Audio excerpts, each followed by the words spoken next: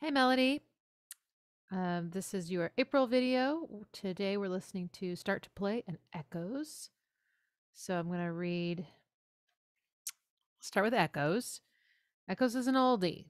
It's from late 2006. I'm pretty sure it's the best song I wrote that I no longer have the project file for. Oh, bummer. Well, I'm glad you have the, you know, the MP3. I wrote Echoes for a friend's birthday. She used the nickname Echo of Silence. Cool.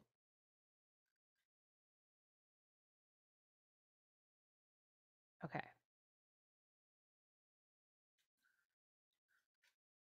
Here we go.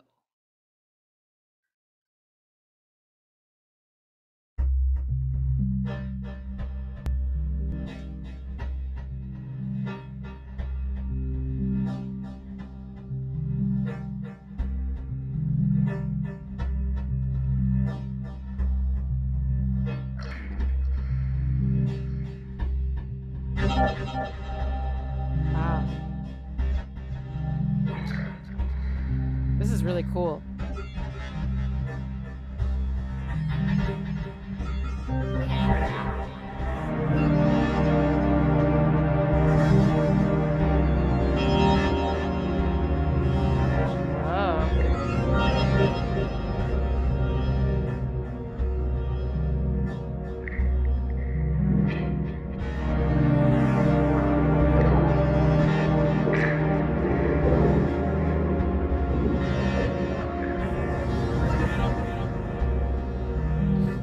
Dark.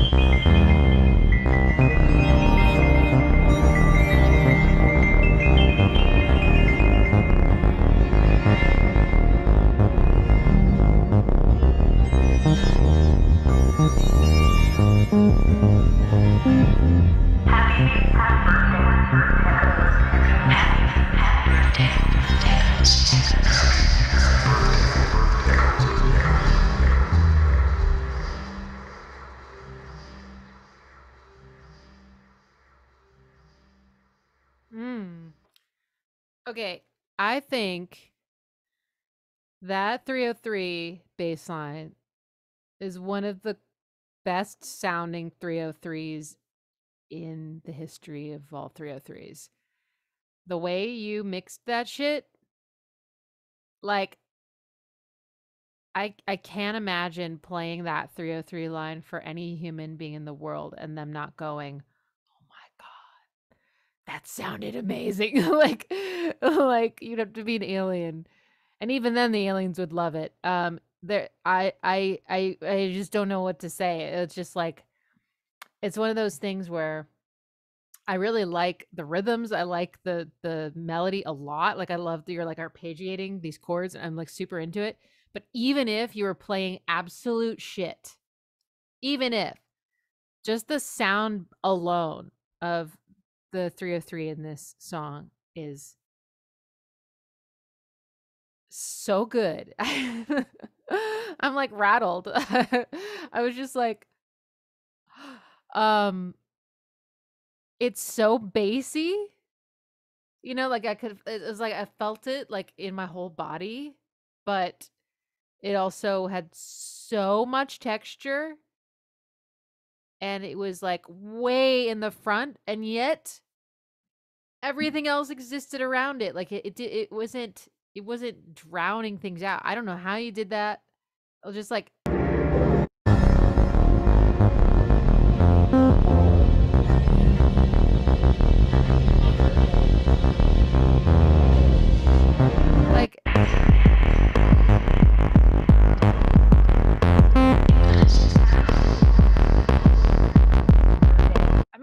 God, and then there was what part where it kind of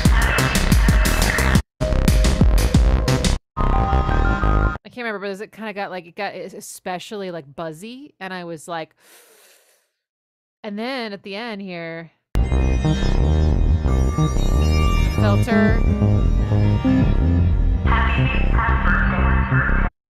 So anyway, I'm just I'm I'm a little bit out of a loss for words for the 303, but I'm just obsessed with it. And oh, but yeah, even okay, so aside from just the sound of it, the way you mixed it, the way the just the sound hits me. Um yeah, I love I love the line. It's just it's got a great like hook and um you got uh kind of it's hanging around C and then you go to flat 6. So I'm so into that and then you go up to 4. Okay, it's it's down here, down here, of course.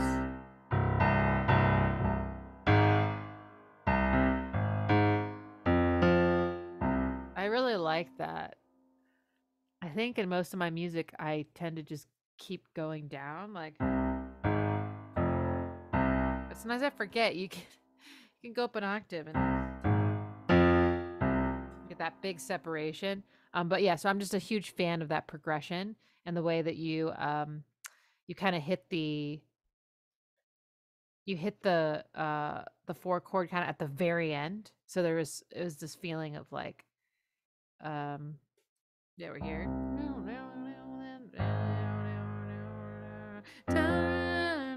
Like, yeah. It was like you almost didn't know if it was gonna happen, and then it, it just kind of sneaks in at the end. I love that. Um so that that's just such a great like thing to carry us through this song, right? Because it goes through lots of changes with the drums, with the chords, um, different melodies come in, and yet that is consistent. And uh, so I, I'm a huge fan. Um, these chords at the beginning were really uh, almost ominous, but then I heard uh, sounds like maybe you sampled your own voice um, saying "Happy Birthday," and I was like, "This is." I bet you your friend love this. Like this this would be the best birthday present. Someone wrote you a song. Like that is so cool. Um so I'm sure that meant a lot to her. But yeah, I mean, you know, if you didn't if I didn't know it was a birthday song, I would think like, "Oh man, this is like so dark." And so um I mean, it still is though, right? Like it, it it's got it's it has a shroud about it, right? It's not like a lighthearted song, right? Uh, it's it's it's got meat, it's got weight, but the the vocals were very ominous sounding to me, and the chords at the beginning. Let's see. So you start with this seventh chord, which I really like. Um, even these, wow, really nice.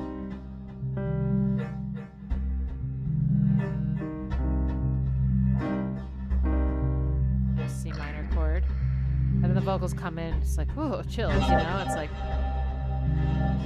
feels very like otherworldly, you know? Yeah, definitely like aliens or like uh or creatures of the night. Okay, and then this chord, right? So then we have uh Oh, it's a ninth chord. Oh.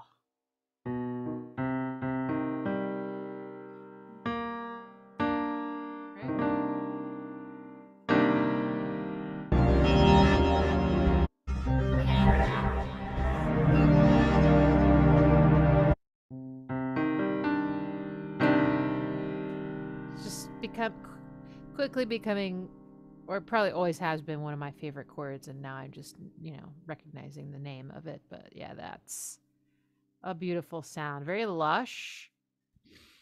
And then that second chord though ooh like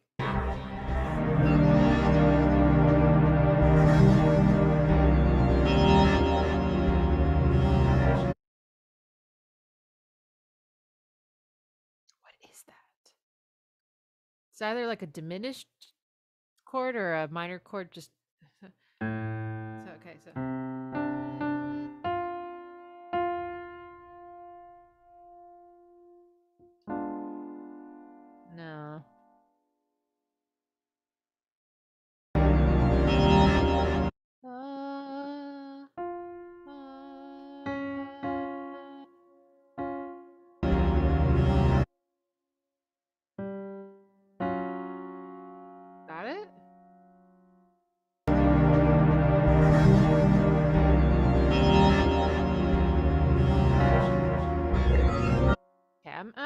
sure, but let's just assume it's that for now. That relationship between the chords is kind of unusual. So.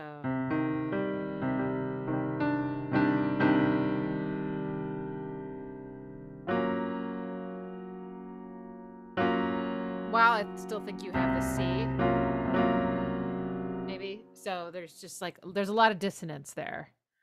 Um, it gave me that, it gave me the feeling of like two minor chords back to back that aren't related. It, it, there's a certain sound.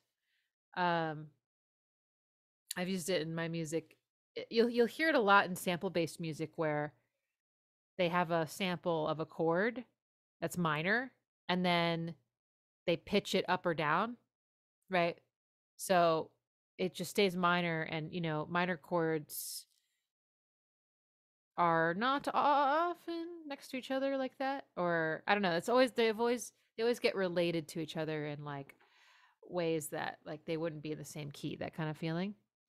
Um but i know you're playing this so but i'm just saying it, it just reminds me of an era of electronic music where there's a lot of that so I, it feels nostalgic to me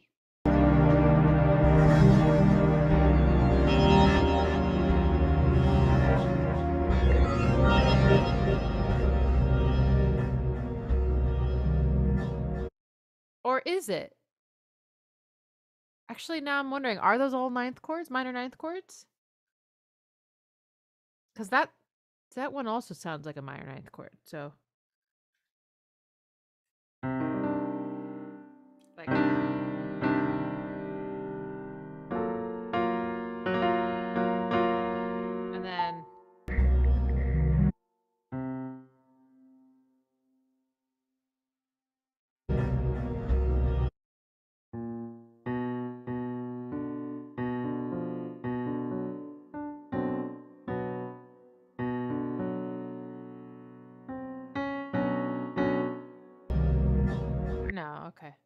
don't know. Uh,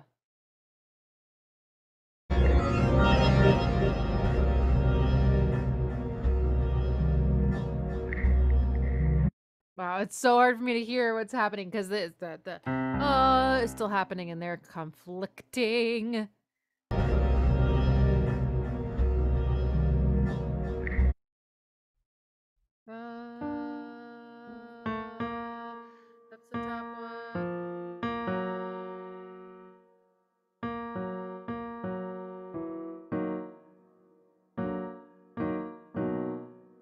That?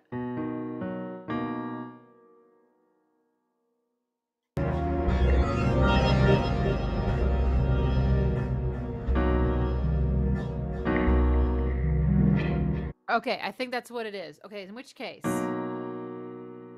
C minor, ninth,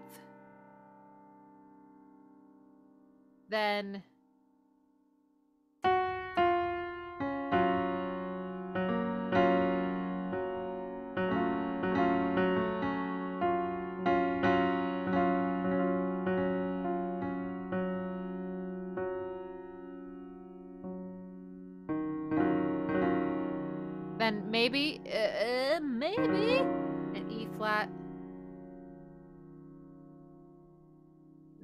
I don't know.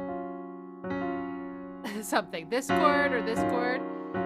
Either a G flat, seven something something, or E flat. Okay, and then.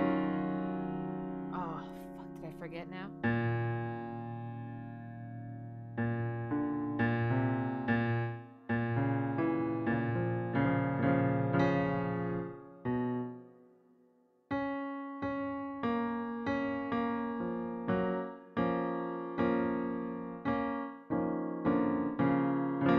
I forgot it. I can't keep track. Okay, but those are cool. Very lush, jazzy kind of chords.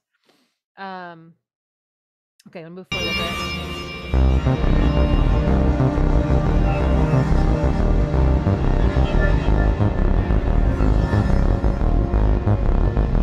God damn. That bass could kill somebody. Oh I like I love your syncopated kick here. It was totally unexpected. It was like I thought I was gonna get a four on the floor, and then I was like, uh, uh, uh, uh, uh, which I love.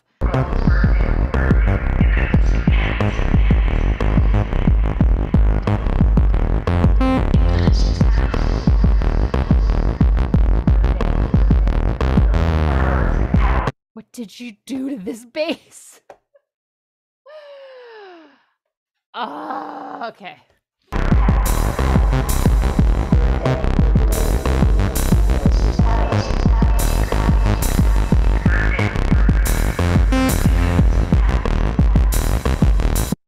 Yeah, just really creative percussion as usual. Uh, you know, nothing, nothing too straightforward. Not lots of cool accents.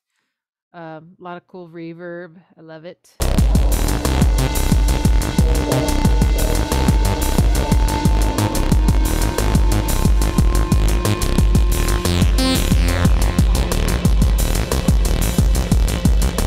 I like that kind of pad.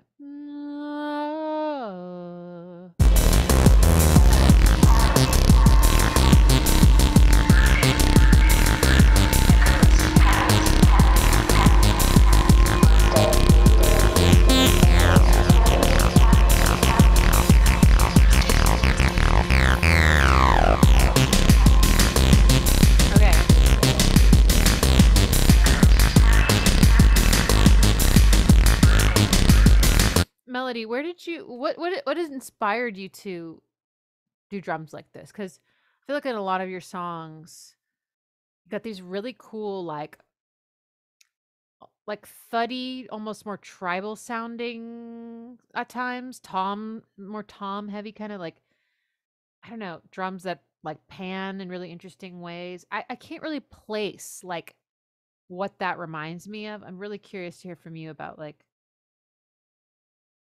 how did you come up with that? What yeah, what were you listening to or did it just happen? Did it just it's just divine? Uh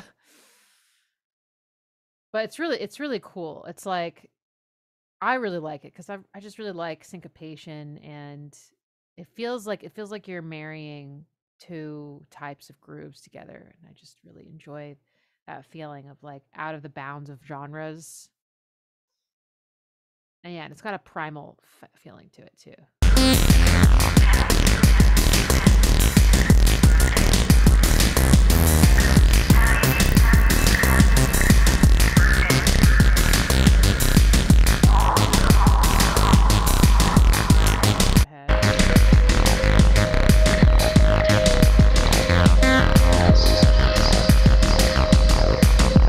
Oh yeah, I like I like this melody, this kind of bell like melody.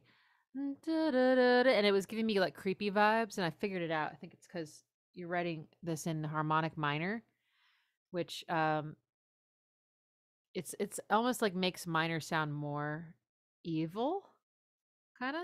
So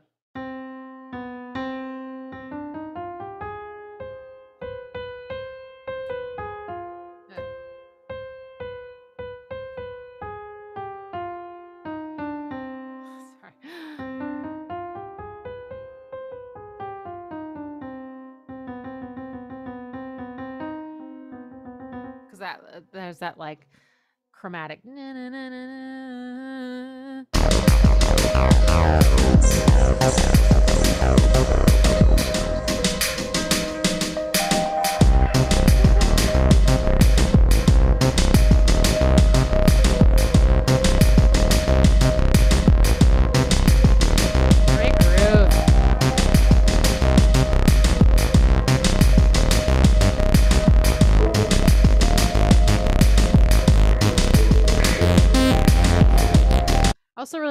it. Sounds like your melody is doing a nice job of uh, taking into account the way your bass line's moving with like an implied chord progression, basically. And I just really like hearing the melody sort of change a little bit with when the chords hit. Um, I don't know if that was intentional or not, but it just feels like they're related. Like they feel like they're playing with each other.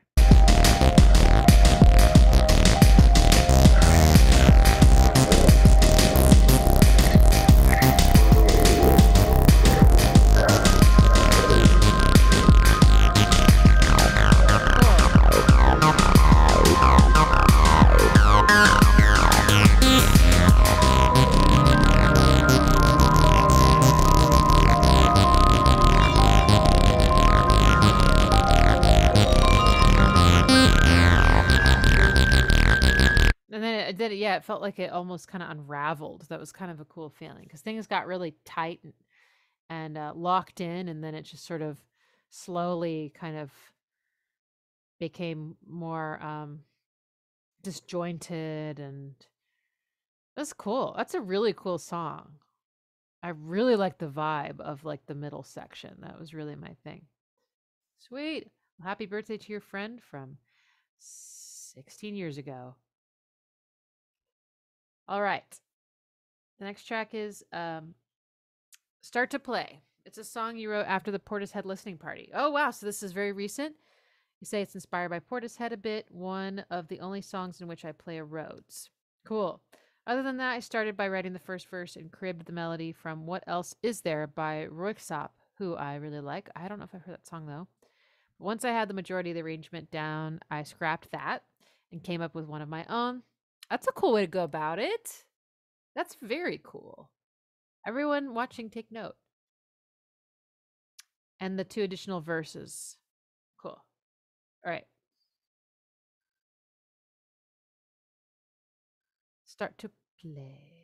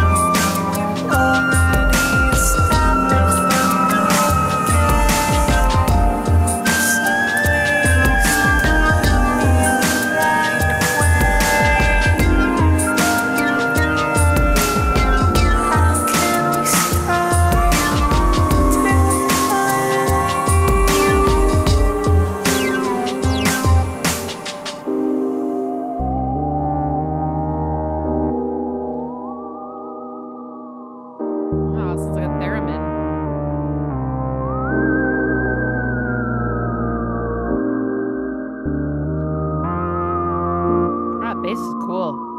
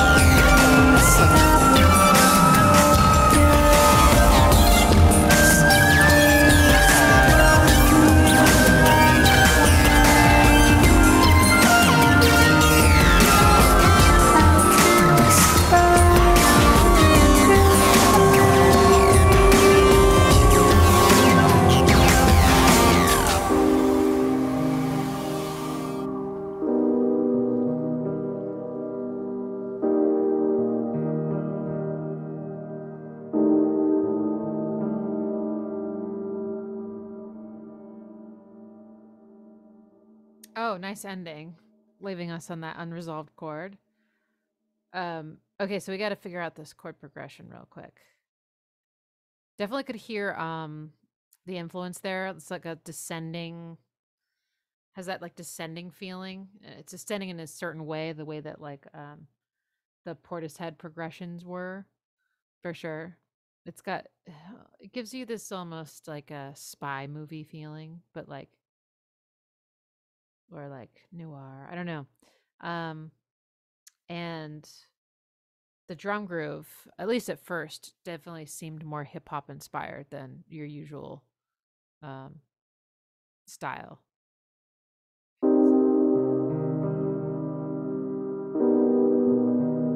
Yeah, that chord.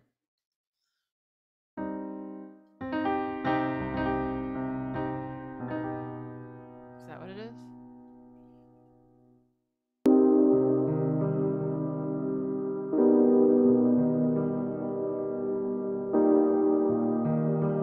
Okay, so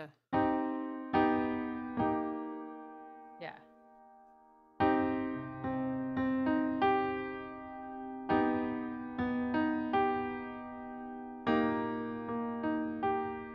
And then you just feel it naturally wanting to go or something. See what you do. So that, that's cool. You kind of like kept the top notes the same and just kind of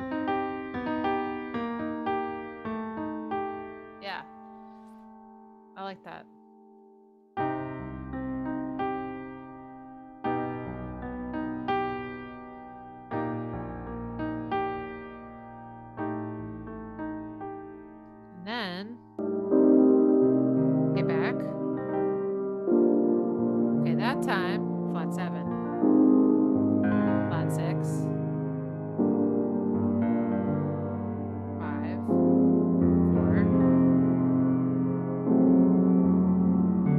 That chord ended up being really cool with your melody. I liked that feeling, that rise. It was kind of unexpected.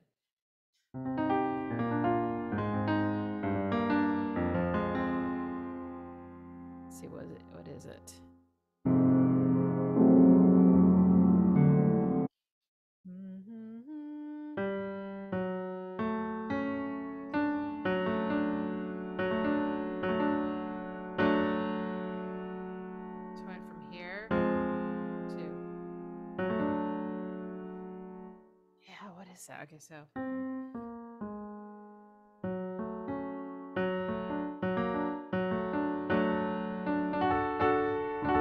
Oh, okay. That chord, that's a D major chord, sounds like. That is a secondary dominant. It's a chord that, I mean, not in all songs, but I think in your song, maybe it sets up another chord. Um, but it, the chord itself, the D major chord doesn't belong. So it has that, like, I don't know, just has a, a certain feeling to it. So.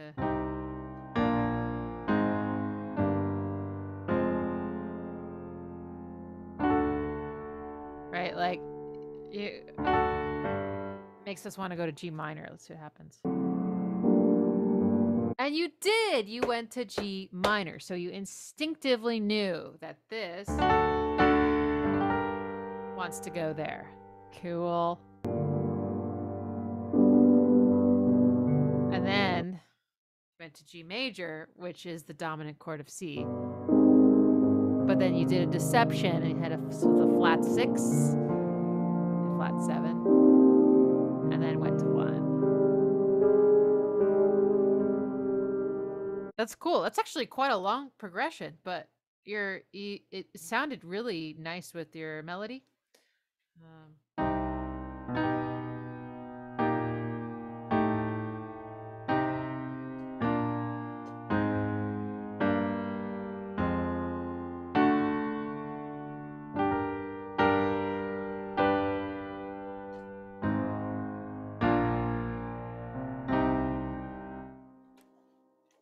that's pretty. That's a that's a mega progression.